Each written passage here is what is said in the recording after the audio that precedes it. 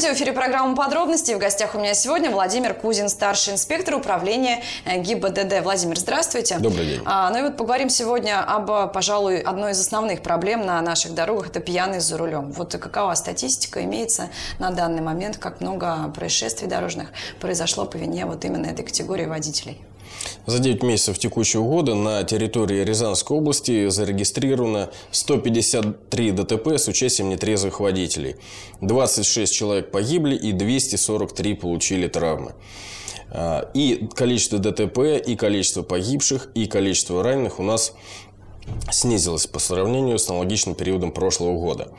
А, как вы знаете, с 1 июля текущего года было ужесточено наказание за повторное управление транспортным средством в состоянии опьянения.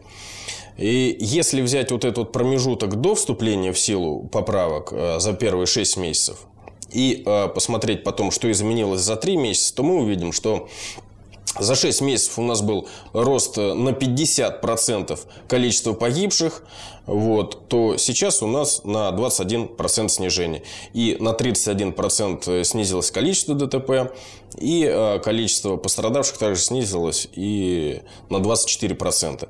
Поэтому мы предполагаем, что вот эта мера уже начала действовать. И э, она как-то, скажем так, отрезвила некоторых людей.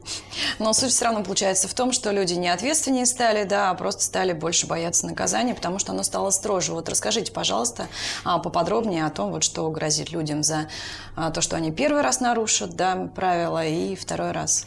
Да, начнем с того, что если а, водитель попадается первый раз в нетрезвом состоянии за рулем, то предусмотрена ответственность в виде штрафа в размере 30 тысяч рублей и лишения права управления на срок от полутора до двух лет. А, если же человек повторно попадается в состояние опьянения, здесь уже не административный кодекс, а действует норма статьи 264 а, Уголовного кодекса. И там уже предусмотрено совсем другое наказание. Да, там, конечно же, лишение права управления на срок 3 э, года. И предусмотрены некоторые другие наказания, а именно общественные работы, принудительные работы, а, штраф от 200 до 300 тысяч, а самое главное и а, лишение свободы до двух лет. А, в настоящее время на территории Рязанской области, вот с 1 июля начала действовать эта поправка, и в настоящее время уже возбуждено 187 уголовных дел. То есть это достаточно много. Это вот 187 водителей, э, которые попались именно повторно управлять транспортным средством в состоянии опьянения. И, конечно же, э, и уже и по всей России есть судебные решения, и в Рязанской области есть решения.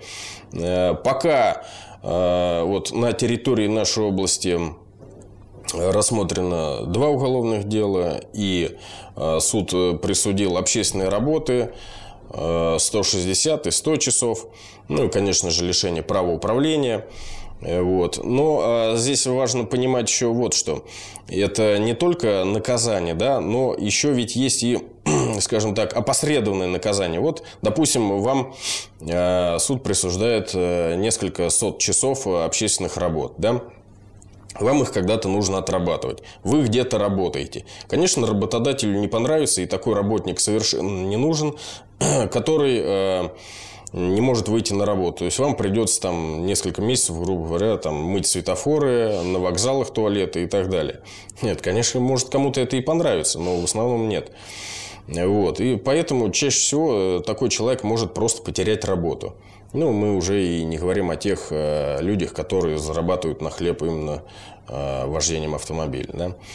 Э, поэтому, кроме э, статьи Уголовного кодекса или, или административного, такой человек может потерять работу. Плюс у нас, э, если человек не имеет права управления, но все-таки сел э, в состоянии опьянения, предусмотрен арест, и в нашей области уже порядка полторы тысячи арестованных. Вот. Здесь тоже работодателю такой сотрудник э, чаще всего не нужен. Поэтому здесь и кроме наказания еще и возможность потерять работу. А, но ну, мне кажется, наши люди устроены, в принципе, таким образом, да, что мало кто верит, что его могут посадить вот за то, что он пьяный поездил в тюрьму. Как бы насколько это реально, насколько действительно могут. Да, к сожалению, э, любителей э, и людей, тех, кто садится за руль, у нас достаточно много.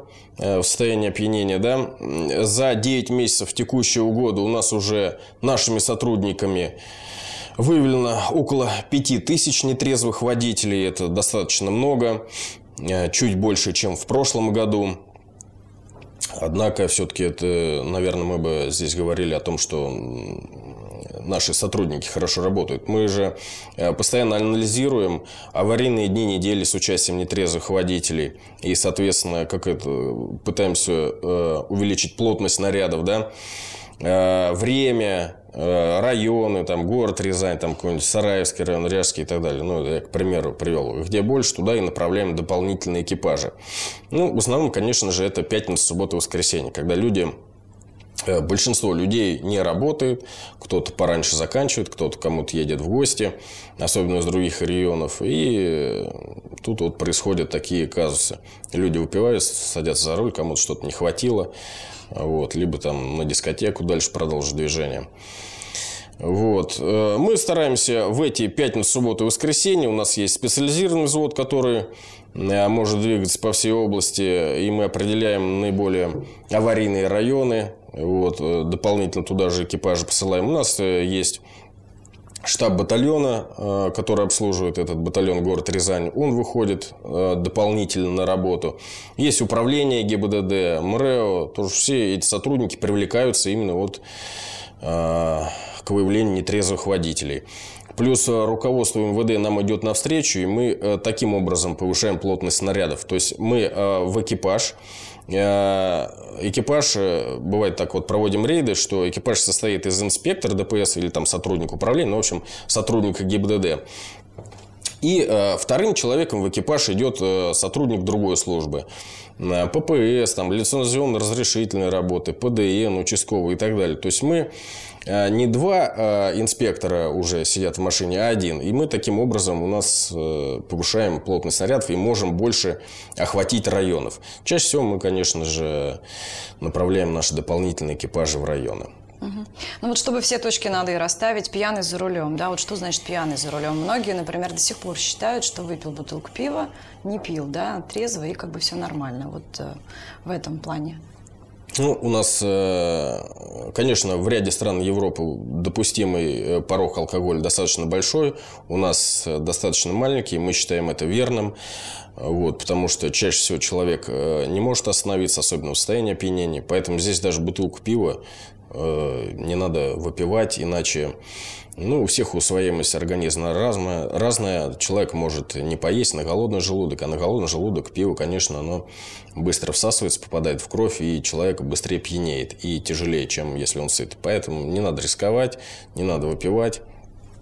Вот. Но э, давайте, наверное, про примеры поговорим. У нас, в общем-то, э, еженедельно происходит ДТП с участием нетрезвых водителей. Вчера в Скопинском районе было э, водитель в состоянии опьянения врезался в дерево, э, попал в больницу. 6 октября в Ряжском районе выехал на встречку на дороге Москва-Астрахань. Э, тоже люди пострадали. Недавно на высоковольтной женщина-водитель в состоянии опьянения собрала 4 машины. И, э, к сожалению, вот бывает так и, что травмы получают дети. В Сараевском районе э, летом был ДТП, там нетрезвый водитель сбил пешеходов, два ребенка маленьких погибли. А бывает так, что и получают травмы дети именно тех водителей, которые находятся в состоянии опьянения. Тут мы призываем и всех людей занимать гражданскую позицию активную, чтобы увидел пьяного, сообщив полицию сразу. И не надо думать, я там не такой, я стучать не буду. Вот, что там по мне, обо мне подумают друзья, родственники и так далее. А давайте представим, что вот именно вы, допустим, не сообщили о нетрезвом водителе, которого увидели, а он совершил наезд на вас, на ваших родных, близких. Что тогда? Тут поэтому надо именно сразу звонить в полицию. Мы э, даем иногда анонс о том, что у нас предстоят э, э, рейдовые мероприятия, профилактические мероприятия, да, на предстоящие выходные или в какие-то другие дни нетрезвый водитель. Некоторые интересуются, а зачем вы это даете?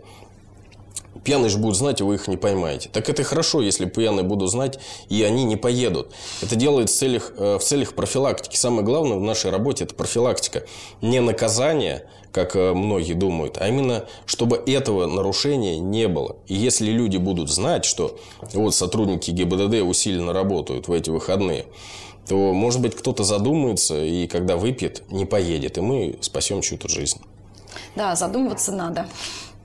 Спасибо вам, Владимир. Нашим телезрителям напомню, что в гостях у меня сегодня был Владимир Кузин, старший инспектор управления ГИБДД. Это программа «Подробности». Увидимся.